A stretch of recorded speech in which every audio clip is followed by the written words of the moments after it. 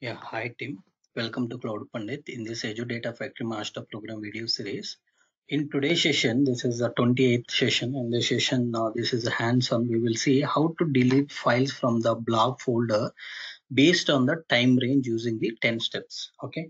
So generally, this is in real time. Uh, the scenarios like you want to delete the log files which are older than 30 days, the log files which are older than 10 days, right? So you want to uh, maybe delete the files uh, which are older than um, 20 days. So will be different uh, scenarios will be there.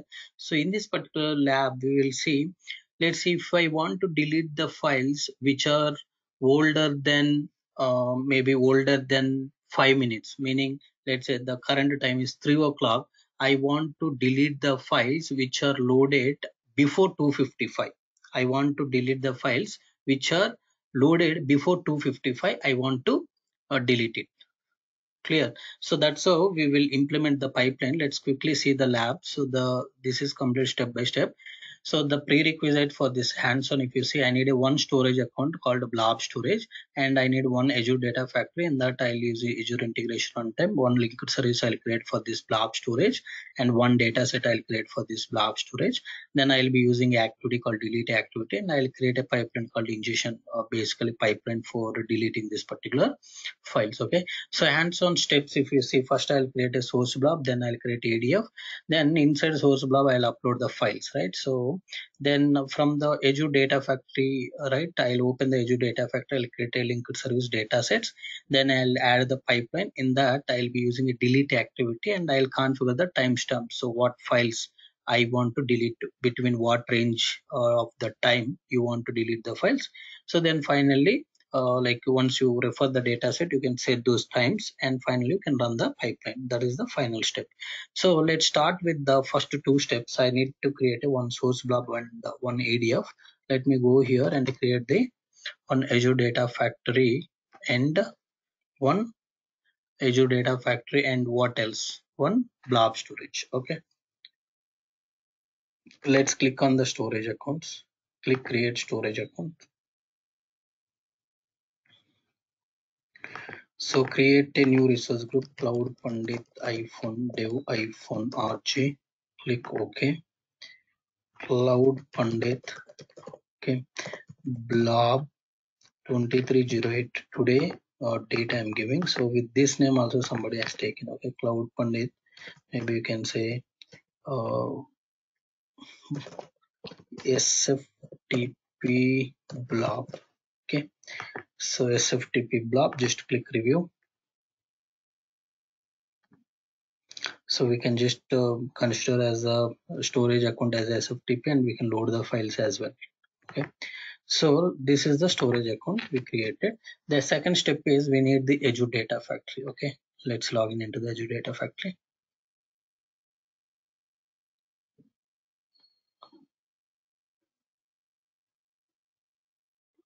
okay. It just open right? Now click on data factory. Click on create data factory. Just use the same subscription uh, and the same resource group and this is the data factory name. V2 2308 click review plus create. So running the final validation. And then click create. So i just created the two steps that i need source blob and uh, adf now i'll go inside the source blob. I'll create the uh, cust container and upload some files okay? Let's go to the blob. Let's go to blob okay? So i'll be going inside the containers okay? So then i'll go inside the container. I want basically you can say cust is the container. So inside this cust container i want to delete the files right so i'm just uploading some two files. Let's upload. So maybe you can say cloud pandith you can say here cust 2 cust 3 okay? Some two files i'm just uploading. Let them upload here. So these two files are uploaded at 129 okay?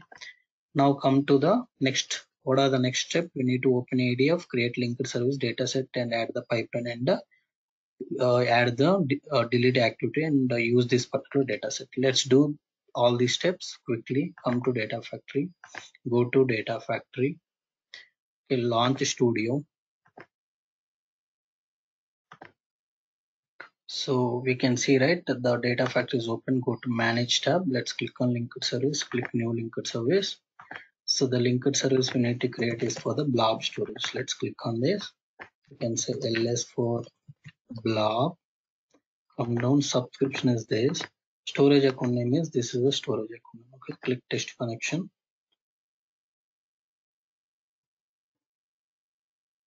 Create it. So this is a linked service for blob I just created and the connection is also successfully created. Let's come to the author tab. Let's create a dataset, new dataset for the blob storage. This is a blob and this is a CSV file. Anything you can take. DS for blob. And this is the linked service. And just browse it and select the cust container. And just uh, don't select any of the file okay? Just select the container only. Just create the container. So just select the container because I want to select all the files based on the particular time and whatever files are fall into that particular condition those files I want to delete okay? Uh, data set also created. Now let's add the pipeline. So in the pipeline so you can say okay pl for you can say cleanup. So this is a pipeline for cleanup. So this is basically a delete activity. You can just bring the delete activity so come to the source. You can use this uh, source data set. Okay. You can use the wildcard file path. Why you are using wildcard file path? Because i want to delete all the files. All the files means are we really deleting all the files? No. Here you can say let's say i want to delete the files which are older than 30 days means you can just say here add dynamic content and you can use functions like add days will be there. Okay. So add days so what you can do here you can just generate a utc now and you can give minus 30 so what happens? 30 days it will remove from the current date. So the files which are fall under 30 days back everything will be deleted if you are generating this particular thing at the end time. So but in our lab what we are trying to do is i am trying to delete the files. Let's say now again i am uploading the files okay. So this time i'm uploading a file called credit salary credit one both okay? Credit salary and credit one okay? You can have any data. So that's why i'm not showing the data because data is not important for us at this time. Any data you can have. So now if you see these files came at 132 and these files came at 129 so i want the files which are arrived before 1.30 before 1 o'clock 30 minutes whatever files are arrived into this particular blob i want to delete them. So very simple to delete. Come here and end it max date is here. I am going to put it a add dynamic content and i'll convert. I am going to keep it here. I am going to keep it here. The i i am going to keep it here. Ist time. So ist time is what? 2023 08 23 so 13 okay? 13 means one o'clock 30 minutes. So before this time whatever files are came and this is the india standard time. So i am giving this time india standard time that you can convert into utc because this particular option expects in the utc now what happens? The files which came the files which came before 130 only will be deleted. So how i have shown you before 30 days if you want to delete add days minus 30 you can add to delete the files which are older than 30 days. Here i am saying the files which are came before 130 before 130 means the files which came at 129 128 yesterday day before yesterday all the files i'm deleting okay? Let's give this next logging settings. What files are deleted? All those things we can able to log it. This session I'll explain to you tomorrow this one okay? Let's click debug. Now what happens?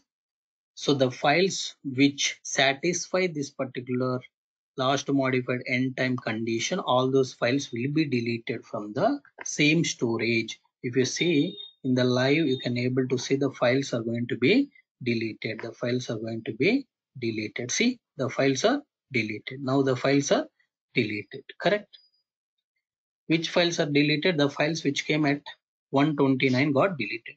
Now let's say i'm just saying upload again some other files. Now i'm just uploading maybe data quality file. Okay so i'll wait for some time. I'll wait for some time and i'll give some time range. Let's say there is a process went wrong.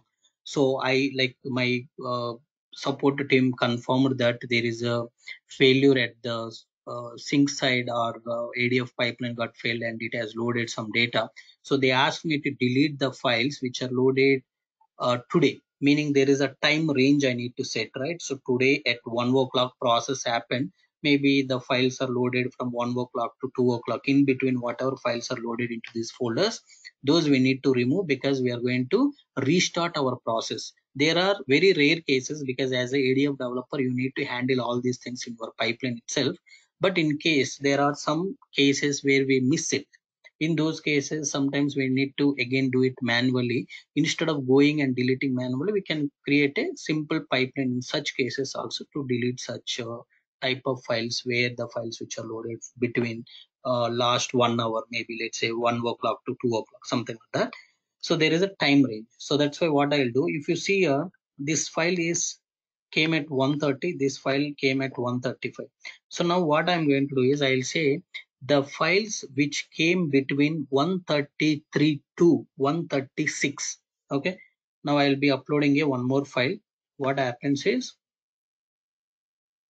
just wait until 137 so now if you see the time is 137 now i'll be just uploading one more file let's imagine credit weekly okay? So this is basically credit uh, credit folder okay? So i should see only credit data but there is a something called data quality.csv because there is a wrong process happened between the 134 to 136 134 to 136 the process which happened before 130 the process which happened after 136 is fine but the process which happened before 136 the process which happened after 134 is there is a problem. I want to delete the files which came in between. Okay? So in that case come here. You need to set the time range start time and end time. Here you can just click here. End time is max. We are expecting 136 okay? Same dynamic content you take put it here.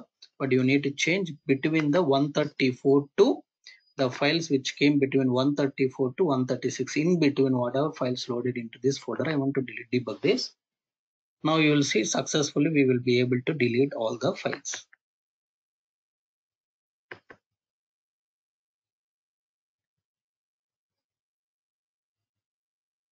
Okay, it is succeeded, right? Now if you come here and refresh this, so data quality dot uh, csv file got deleted because that is something unexpected file is loaded into the folder. Maybe you have hundreds of folders, you can't go and delete it.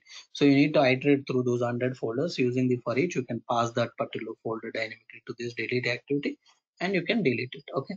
So that's all team. Thank you for watching this particular session. Let's quickly go through the summary uh, questions. What is the purpose of last modified start time option is basically it specify the minimum modified timestamp of a data to be included in the delete. For example, 134 we have here minimum time is 134. After 134, mini, mini, minimum 134 means after 134 whatever changes came those things we need to take. The minimum time is 134 so the answer b is correct. For the mag last modified end time it indicates it specifies the maximum modified timestamp. So it is exactly opposite. Answer a is correct so the third question, when using the uh, last modifier start time and end time option in Azure Data Factory delete activity, what is the purpose of defining a time range?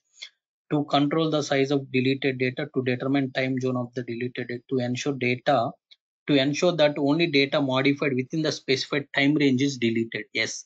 So within that particular 134 to 136, within that time range only the data is deleted. deleted. Just to say that we have the start time and end time option D is correct.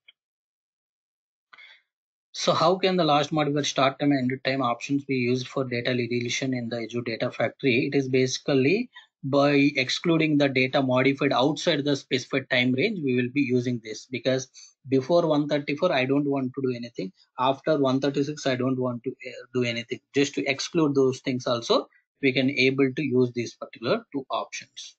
Next. Which data sources sinks are compatible with the last modified start time or last modified end time option in Azure Data Factory? All the any source sink supported by the Azure Data Factory. So option C is correct. Okay. That's all team. Thanks for watching this particular session. I request all of you to subscribe my YouTube channel and uh, support me to do more videos. Thank you. That's all for today.